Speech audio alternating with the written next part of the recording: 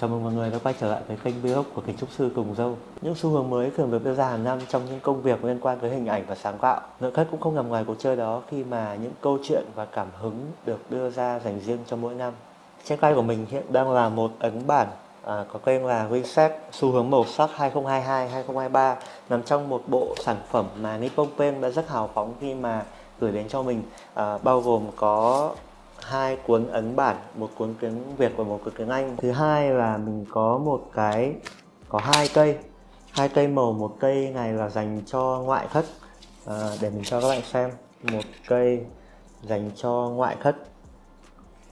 Expert professional gì đấy. Đây đây nó là đó. Một cây màu dành cái này rất là hay nhá. Cái này à, thường thường ngày xưa ấy, khi mà mình sử dụng các cái cây màu à, nội thất thì mình sẽ bị tình trạng là có những màu mà ngoại thất mình không pha được thì à, những bông ven khi mà làm một cái cây màu này thì mình nghĩ rất là hay. Cộng với cả một cái cây màu nội thất tất nhiên là và cái cây màu nội thất này thì mình sẽ nói qua một chút và mình cũng có xem qua thì mình cảm thấy là cái cây màu này rất là hay.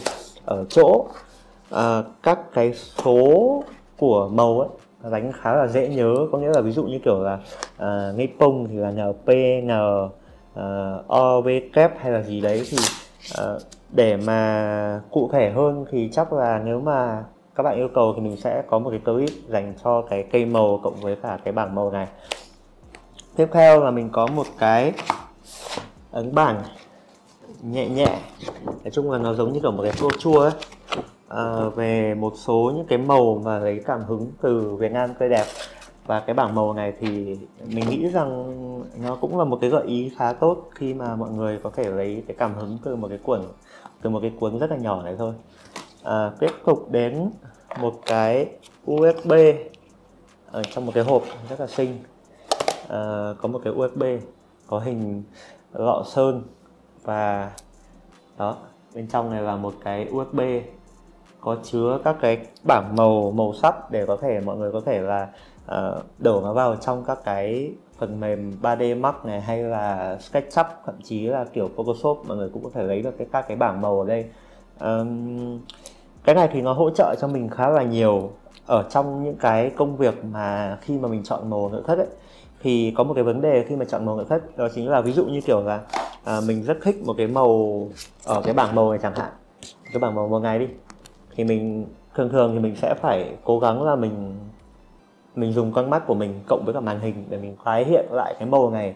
Nó gần chính xác nhất có thể nhưng mà tất nhiên nó, nó vẫn sai. Nhưng mà khi mà mình có một cái USB này chứa các cái màu sắc của chính Nippon Pen làm ấy thì mình không cần phải có một cái công đoạn kiểu dịch từ màu thực tế in ấn ra cái màu mà ở trong cái cây màu nữa thì mình nghĩ rằng nó sẽ hạn chế cái sai số của mọi người khi mà thiết kế khá là nhiều.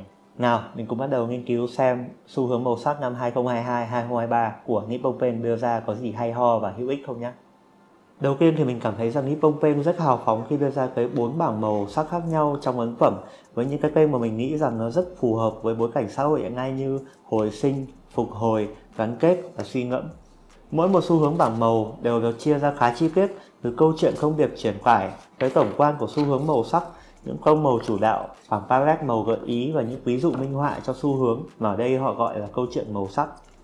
Và chúng ta sẽ cùng đi tới bảng màu đầu tiên, đó chính là bảng màu hồi sinh với cảm hứng từ màu xanh của thiên nhiên với màu đại diện là màu dark green với mã số ở đây thì mọi người có thể tra với cả bảng màu của Nippon Paint à, với một cái bộ bảng màu có thể hỗ trợ được cho cái màu chủ đạo là dark green này. Thì có khá nhiều màu chúng ta có màu vàng khá nhạt này. Màu vàng nó trông nó hơi cũ nó kiểu màu vàng nó gần giống với màu vàng hội an. À, một hai ba màu xanh có thể hỗ trợ được cho cái màu xanh dark green này và một màu xanh da trời hơi nhạt nó pha một chút ghi và một màu nâu khá sẫm thì để xem xem là với cái bảng màu như này thì chúng ta sẽ có những cái ví dụ như thế nào nhé. Ờ, và chúng mình sẽ cùng điểm qua ba câu chuyện màu sắc. Những ví dụ minh họa được sử dụng ở trong bảng màu hồi sinh thì đầu tiên chúng ta có một bảng màu tương đồng với những màu xanh được phối hợp và bổ trợ cho nhau. Một bộ bảng màu có hơi hướng của màu vàng kết hợp và phối với cả một màu xanh min nó vẫn hơi ra một chút vàng. Thì mình cá nhân mình thì thấy đây vẫn là một bảng màu tương đồng. Ờ, và đây một câu chuyện màu sắc thứ ba thì chính nó có tên là tương phản kích loạn thì mình thấy nó cũng tương phản thật.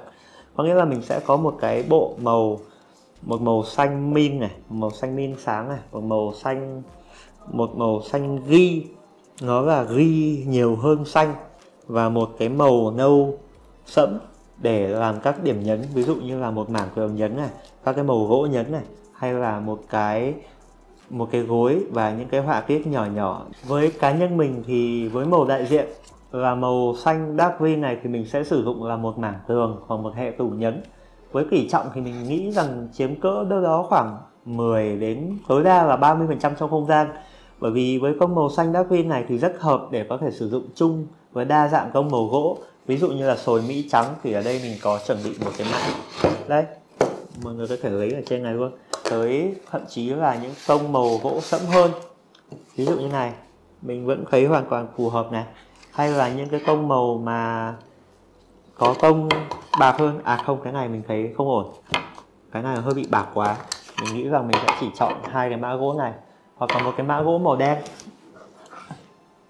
Đây, một mã gỗ màu đen như này đó.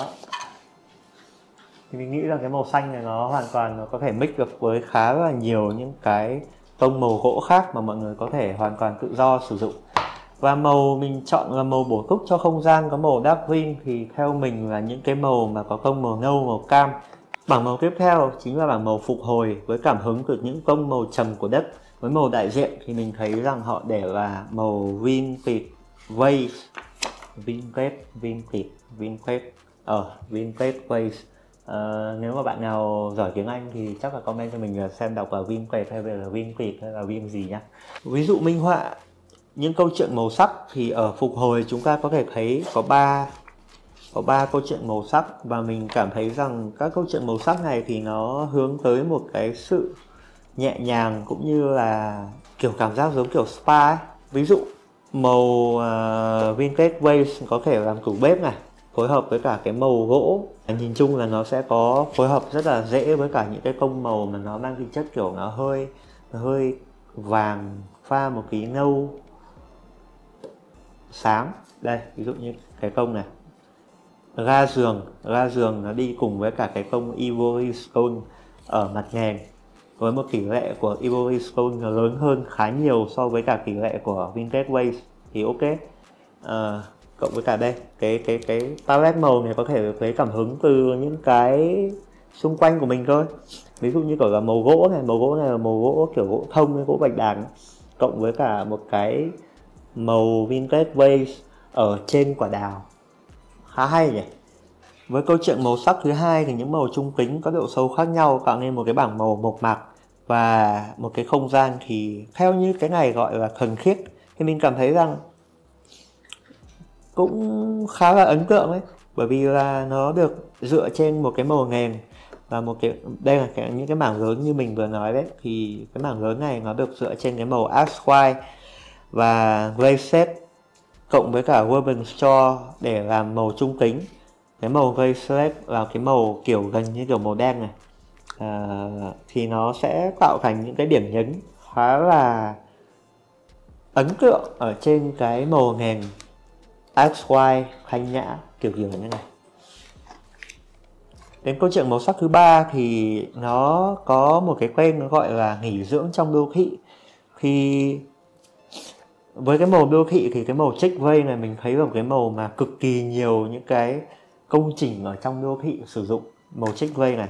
Kể cả như trong các cái phong cách kiểu dạng như kiểu của Mỹ này, hay là một số những cái căn hộ mà làm kiểu châu Âu ấy, màu check vây là mình thấy cực kỳ nhiều và mình nghĩ rằng cái màu nếu mà khi mà mọi người muốn một có một cái công trình mà nó nó trung tính nó thể hiện được sự thanh lịch nhưng mà không kém cái sự hiện đại thì mình nghĩ màu trích gray là một màu mà mọi người nên sử dụng thường xuyên.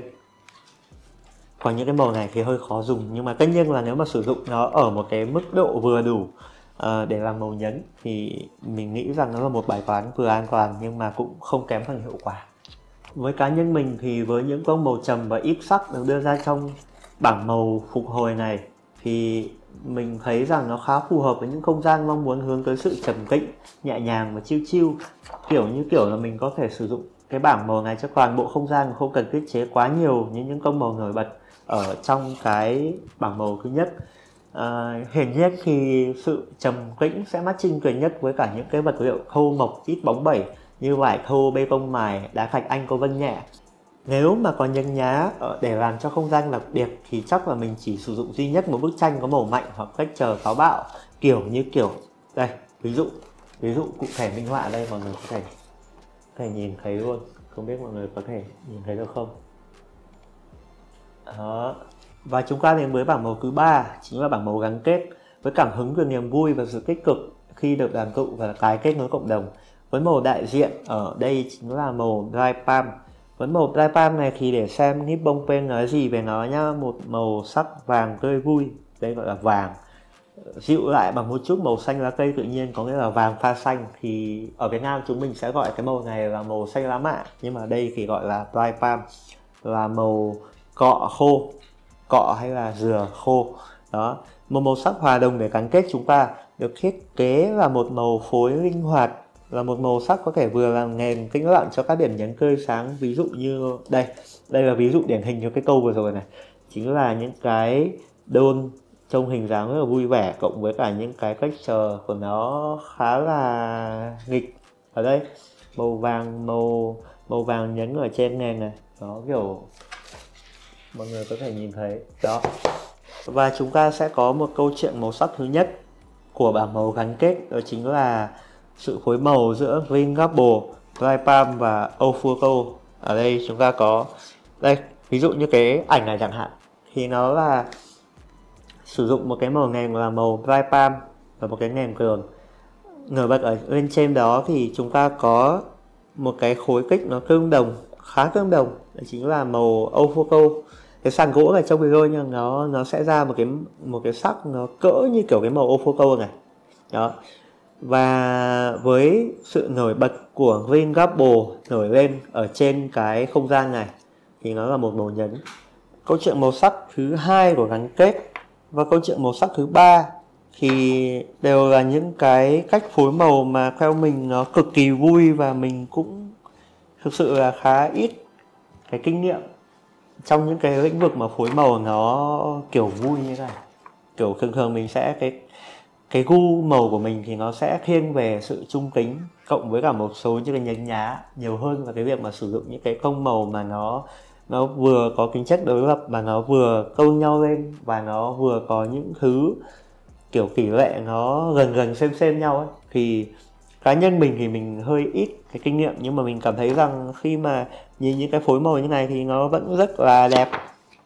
Đó, hy vọng rằng thời gian tới mình có thể có một cái dự án nào đó mình thử sức cũng như là mình cố gắng mình mài rũa cái cách phối màu của mình dựa trên cái bảng màu này. Nó được ngon hơn. Đấy, câu chuyện màu sắc thứ hai này khá hay này. Cái màu xanh dry palm này nổi bật trên cái nền màu Zinnia Scan này. Xong sau đấy thì chúng mình sẽ có một cái một cái cách phối màu mà nó khá là vui. Cái này cực kỳ vui luôn. Nó giải rác cái bộ màu, ba màu này ở trên cái ở trên cái tấm váp giường cộng với cả cái gối này, cái màu nền nó là màu Genia Scan, gần gần tương đường. Và cái tường nó sơn một cái màu sơn mét. Khá hay nhỉ? Mình nghĩ rằng mình sẽ cố gắng mình thử sức ở cái lĩnh vực màu mè này một cách vui vẻ hơn. Câu chuyện màu sắc thứ ba, với một màu xanh blue spa nổi bật lên. Trên đó là màu watermelon cái màu này nó gần gần ra cái màu điểm nhấn watermelon. À, xong sau đấy thì nó sẽ có một cái màu nền và màu picket fence. Là cái màu mà gần như kiểu là màu gọi là ờ, được làm sáng hơn từ màu chủ đạo ấy kiểu như thế. Thì tất nhiên là nó vẫn sẽ được lấy cảm hứng từ cái màu chủ đạo là màu dry palm này. Nói về cách sử dụng cá nhân thì thú thực là chính mình cũng chưa từng có công trình nào có nhiều màu sắc tươi vui như trong bảng này và vẫn nuôi hy vọng sẽ có một ngày được thử sức với nó.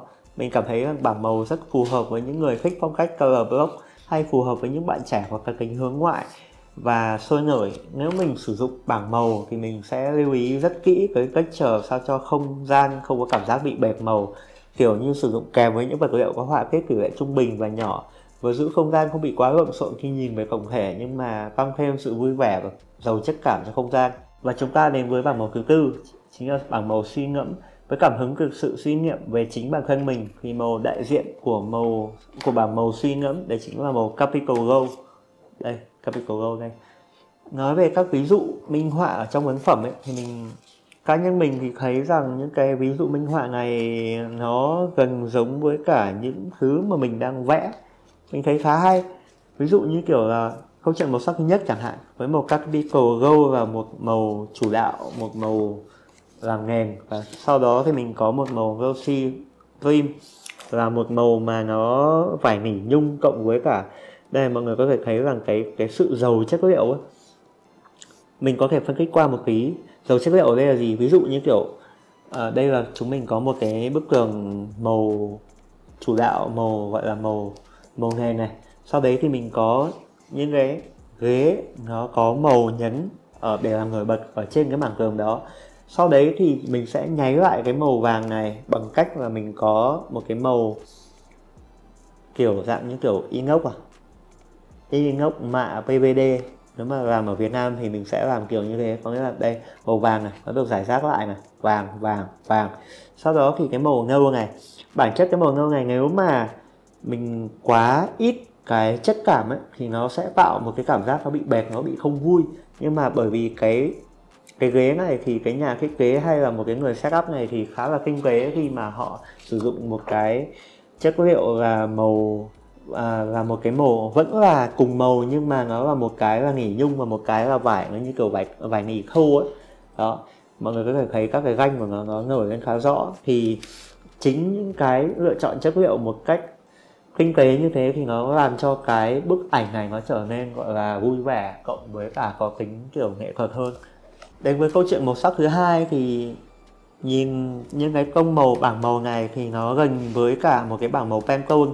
Và với một cái màu beauty cream này nó khá là độc đáo.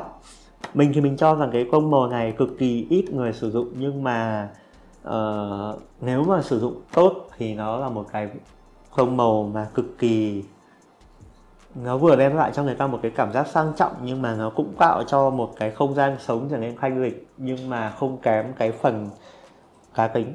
Bởi vì nó có một chút pha màu hồng ở đây. Và một ví dụ khi mà làm cái màu capital gold ấy, đưa vào trong công trình, mặc dù nó không có xuất hiện ở đây. Cả hai cái này thì mọi người đều có thể thấy là không có capital gold xuất hiện, đúng không? Thì nó xuất hiện ở đâu? Nó xuất hiện ở đây này. Nó xuất hiện ở những cái chi tiết vàng đây. Nó xuất hiện ở những cái chi tiết mình chỉ ví dụ thôi. Nếu mà một cái không gian sử dụng những cái bảng màu này mà sử dụng với chất liệu những cái chất liệu kim loại ấy, mà nó màu một là màu đen và hai là màu bạc thì nó lại không được câu lên cái sự sang trọng và thanh lịch của nó. Ví dụ như kiểu tại sao mọi người chọn cái đèn quả thông cái này hình như đèn quả kiểu quả thông này tại sao mọi người chọn một cái đèn với cả cái công tắc đầu giường mà nó lại có màu vàng? Bởi, chính bởi vì là nó là những cái thứ mà làm điểm nhấn nổi bật lên trên những cái không màu hiện tại mà nhà thiết kế đang sử dụng. Là một người kiến trúc sư kiêm thiết kế nội thất thì mình thường thường phải sử dụng cũng như là làm việc với cả những cái màu sắc một, với một cường độ rất là lớn. Và thậm chí mình còn phải chịu trách nhiệm với cả những cái màu sắc mà mình lựa chọn nữa. Không hẳn là chạy theo xu hướng, nhưng những màu sắc được đưa ra đi kèm với cả những thông điệp và câu chuyện, cộng với cả những cái ví dụ minh họa và những bảng màu có thể bổ sung, hỗ trợ dành cho những cái màu sắc kiểu như thế thì mình tin rằng nó có ích rất là nhiều cho mình, cộng với cả những người làm nghề giống như mình, hay thậm chí những người mà có mong muốn làm nhà khi mà chọn màu sắc cũng có thể có những cái nguồn cảm hứng khi mà xem những cái ấn bản kiểu như thế này hy vọng với clip này thì mình đã đưa ra cho mọi người một điều gì đó thú vị và bổ ích. Nếu có bất kỳ câu hỏi cũng như là ý kiến gì đóng góp thì đừng ngại comment ở phía bên dưới để cho mình biết với nhé thì biết đâu đấy, những cái comment đó chính là những nguồn tư liệu để cho mình có thể làm những cái video clip tiếp theo, thì sao? Và lời cuối cùng xin chân thành cảm ơn Nippon Pen với những món quà siêu thiết thực dành cho ngành nghề và công việc của mình.